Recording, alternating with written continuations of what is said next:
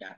Hi everyone. In this video, I'm going to explain about uh, how to configure how to configure so Java from Edit Plus.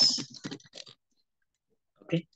So so whenever you you have installed Edit Plus software, Edit Plus, and uh, if you have already installed JDK, how can you run your Java applications from Edit Plus easily with simple shortcuts?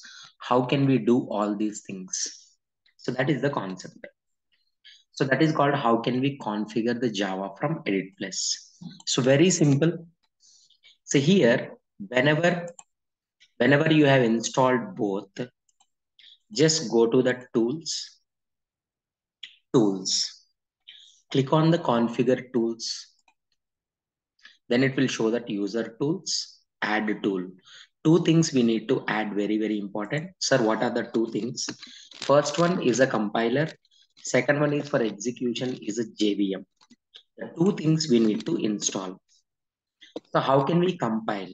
Compiler is a Java C and followed by, so what is the source file name we have to give? Whatever that source dot Java, right? Source file name we need to give. But whenever you are executing, very, very important, Java is representing the JVM, just a source no need to give the class file. As we know that whenever you compile the Java application, the dot class file will be generated.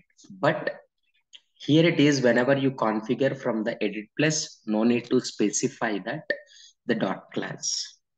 So based on that, now I'm explaining, go to tools, configure user tools.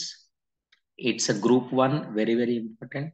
Group one, add tool it's a program. In the menu text, I'm just giving that name is compile because for compiler, we are giving that what is the command. What is the command? Just browse it. In the C drive, you have already installed that JDK, Java, JDK from the bin, right? And we need to open that Java C. Open it, yes.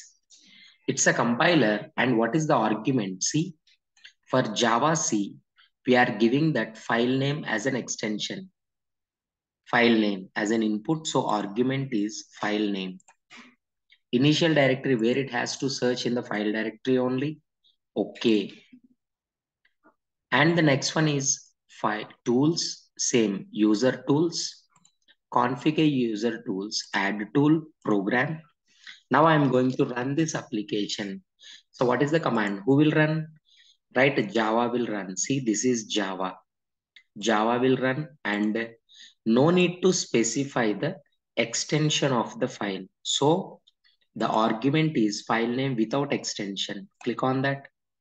And the initial directory where it has to search file directory, click on OK. Now, if you see here tools, it will show that if you want to compile the application, it's control one. And if you want to run the application, it's control two. Look at this user tool group. Group one selected. By mistake, if you select group two, next time these two will not visible. It will show that empty. So make sure that, right, you are in the group one. Now we are writing the simple application and I'm executing that. In the new, just go with a Java and we are giving that name is a code code. I'm saving in any location. Suppose on my desktop i'm saving. Extension should be .java c. Save as a type java. Just click on save.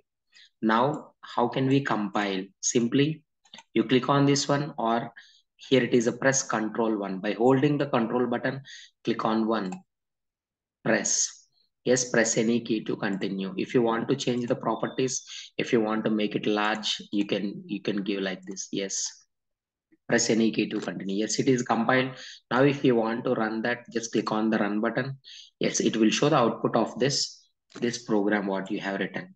So this is the way just how to configure the java application from the edit plus. By using edit plus we can easily compile and run the applications with the shortcuts by configuring the JDK. Thank you all.